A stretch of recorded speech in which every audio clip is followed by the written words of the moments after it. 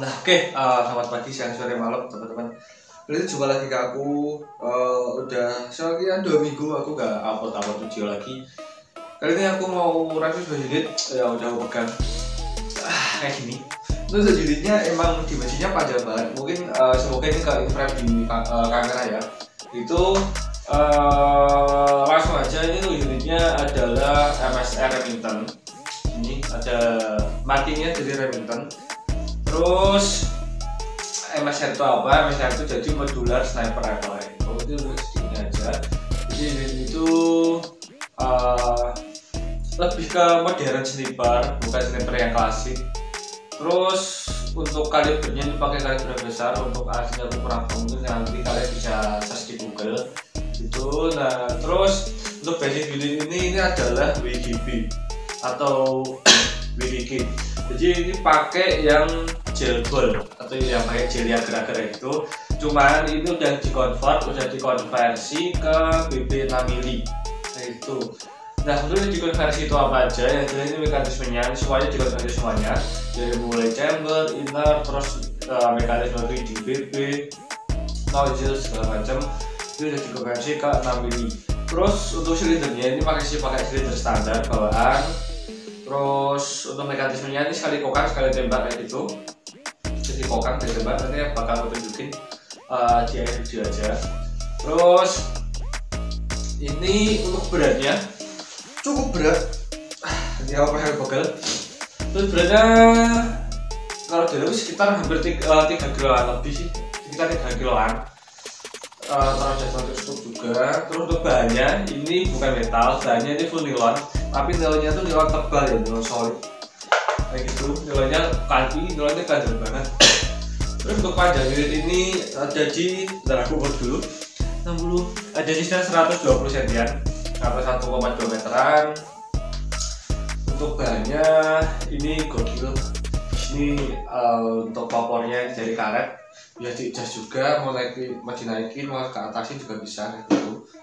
Ini tiga putar kayak gini terus nanti biar sih naikin ke atas ya ke, ke, bawah ke atas ini. Nah kayak gini. Ya, terus yang ini uh, untuk bantalan pipi juga bisa di adjuster bisa diputar putar bisa diputar. Ya sini juga ya bisa diputar. Jadi mau ke depan ke belakang ke atas ke bawah juga bisa. Terus untuk bahan kokangannya ini udah metal. Pokoknya standar ya. Ini udah metal untuk triggernya. Ini juga trigger metal ke sini untuk uh, popor catnya juga dari metal semuanya. Dan ke depan lagi untuk receivernya ini masih plastik atau nilon. Springnya aku pakai spring standar jadi dapat di FPS 290 aja. Kayak gitu. Biar aku ngejar keawetan aja. Terus untuk range aku dapat di 50 meter. Pakai BB 025 ya kayak gitu. Biar ini lebih awet aja. Sebenarnya itu bisa di upgrade mau FPS berapa di upgrade. Cuman nanti kembali lagi kalau uh, ke kalian kalau kalian siap budget ya harus di upgrade lebih bagus. Karena ini aku cuma uh, untuk uh, lebih kepajangan aja sebenarnya kayak gini. Jadi ya aku nggak terlalu overprice untuk ini untuk harga ini untuk barunya sekitar ada 3 jutaan. Terus mungkin rencana juga menjual unit ini.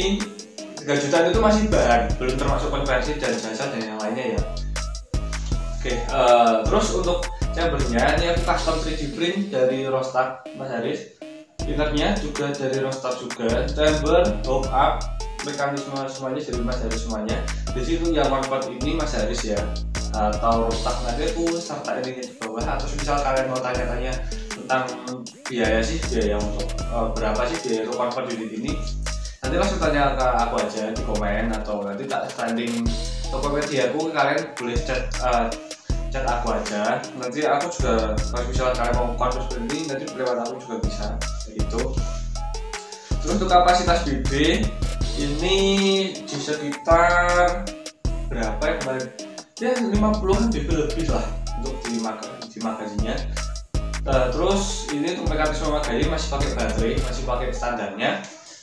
Dan untuk videonya jadi sekali uh, kalian itu masih ditarik dinamo di sini bakal muter ke atas uh, terus bibir nah itu.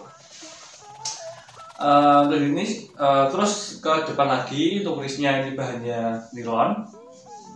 Di sini untuk outernya juga nilon. Uh, untuk di bawaannya itu kita dapat dua outer ya satu panjang satu pendek. Ini aku pakai yang panjang aja. Yang panjang aku sayang untuk uh, panjang innernya. Oh iya untuk panjang inner aku ambil 45 cm sampai sini. Innernya tembaga chopper terus apa lagi ya? Untuk nozzle itu yang bawa ini kan nozzle-nya itu sekitar 7 milian lebih sedikit lah. Kalau yang ini aku nozzle-nya pakai yang 6 mili. Bahkan tapi untuk di ujung nozzle-nya aku kurangin jadi sekitar 5,9 atau 5,8 mili biar nanti ketika masuk ke chamber dan bikin pipi itu enak. Nah terus uh, untuk popor itu bisa dilipat. Begini jadi buat kalian mau modifin gunback ini masuk bareng ke gunbackku yang kecil itu juga masuk. Ketika kalian mau guna lagi tinggal kalian pencet sebelah sini.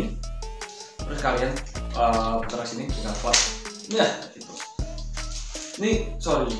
Ini wujudnya sebenarnya ganteng banget. Cuman uh, untuk plus minusnya wujud ini agak sedikit rewel. Rewelnya ketika uh, kalian mau convert pasti akan ada aja masalahnya. Tapi untung aja wujud ini alhamdulillah rewel terus untuk video lancar semuanya lancar nanti akan aku review di uh, tes syuting juga sekali ya. Terus ini ada safety nya jadi ketika ini di pencet itu nggak bisa nembak ya. Terus kita yang pokoknya masih di sini itu juga bisa nembak itu kita sudah turun ininya ke depan bisa nembak nah jadi ini safety nya oke. Okay. uh, mungkin itu aja sih dari saya terus aku selalu kita shoot nggak usah lama-lama biar durasinya nggak terlalu panjang oke uh, gitu Oke, uh, kali ini aku mau langsung ngelakuin test shoot. Untuk kali ini uh, sama kayak kemarin aku pakai sebenarnya pakai BB 0,25 karena otentik. Untuk jarak terukurnya ini sekitar aku ambil panjang aja. Di estimasi jarak 10 sampai 12 meteran kurang lebih. Kalau dari kamera ini uh, agak dekat. Terus aku pakai papan target seperti ini. Kayak gitu. Ini aku lokasi tes syutingnya di belakang rumah ya. Yang kemarin biasanya kan aku di samping rumah terus sekarang di belakang rumah. Karena panas. Gitu. Kebetulan ini uh, pas aku take video yang mutasit ini masih belum bisa juga ya doain aja semoga ini sehat. Terus aku kali ini mau gunain bantuan dari scoop gitu. Nah ini. Oke terus untuk uh, nanti kita mau tes shoot kerapatan groupingnya sama jaraknya juga karena ini tempatnya agak luas jadi nanti kalian bisa lihat. Untuk anginnya agak sedikit gede banget kayak gitu. Dan nanti aku pakai batu scoop juga mungkin biar lebih enak kayak gitu sebenarnya aku tuh punya mounting scoop cuman nggak enak juga sih kalau pakai kayak gini. Oke. kita mau langsung lakuin tes yang pertama dulu. Oke lanjut pertama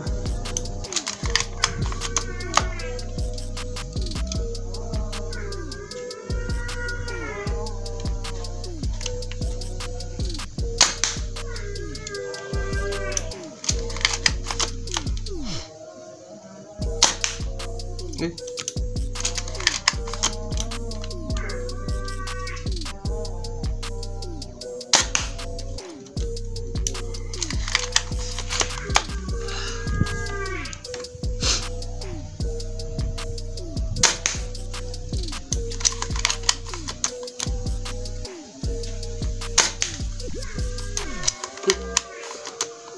kita lihat hasilnya langsung aja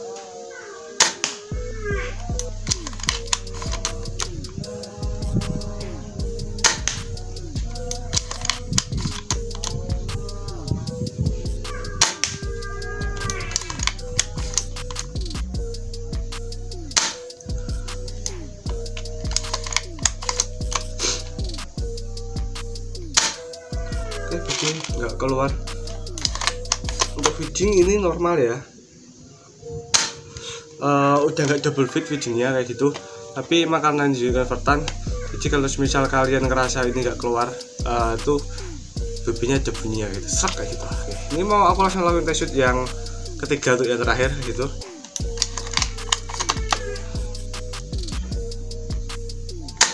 Eh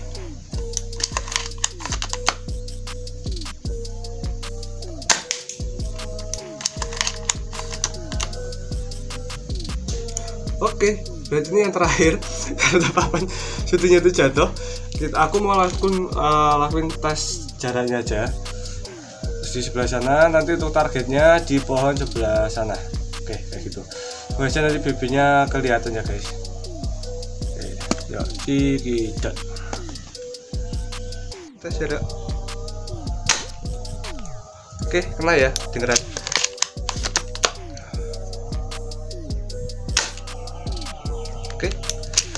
Ini BB-nya kelihatan dari situ. Yuk. Oke, kelihatan bunyi tik kayak gitu.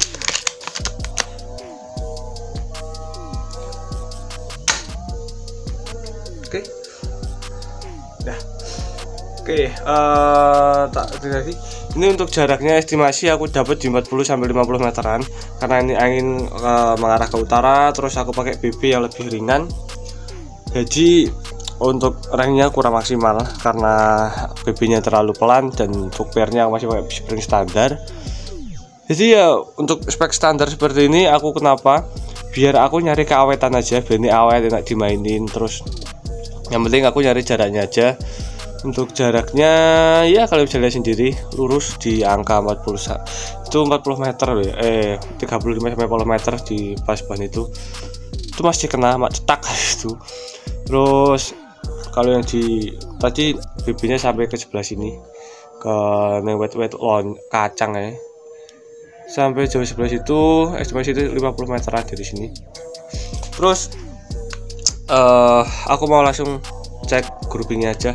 Ya cek grouping cek hasilnya tadi gimana Tak ambil aja karena ini panas. Oke ini untuk hasilnya tadi untuk di sebelah sini sebelah sini. Nah ini aku pakai bata scope eh, ya kembali lagi ke yang syuting karena aku emang dari video dulu. Aku repaim terus ya hasilnya dapat seperti ini. Konsisten di angka sebelah sini. Eh, untuk grouping kalian bisa lihat sendiri. Tapi ini overall oke. Untuk airsoft grouping segini udah lumayan mantap ini sudah mantap. Ini dua kali shoot tadi di segini terus. Ini dua, dua kali segini ini dua kali dapat segini dua kali dapat segini. Jadi total ada sekitar 8 shoot aku tadi. Ini dua kali di sini dua kali dapat terus di sini dua kali di sini dua kali di sini kayak gitu. Ini kalian bisa lihat sendiri groupingnya gimana kayak gitu. Eh oke langsung aku tutup di sini aja. Kita dapat salam dari kebu. Ya mau tutup di sini aja. Untuk video kali ini eh mungkin sekian di sini aja. Jangan lupa like comment dan subscribe. Sorry kelihatan admin masih upload videonya jelang jeling atau belum konsisten karena emang kondisi belum sehat dan ada kesibukannya lain. Nanti aku bakalan review unit-unit eh, AEG atau yang lainnya biar nanti channel ini makin ramai. Dukung terus sampai sampai 1000 subscriber bentar lagi tuh 1000 subscriber aku bakal adain giveaway oke oke eh, wis itu aja dari saya. Have a nice day and thank you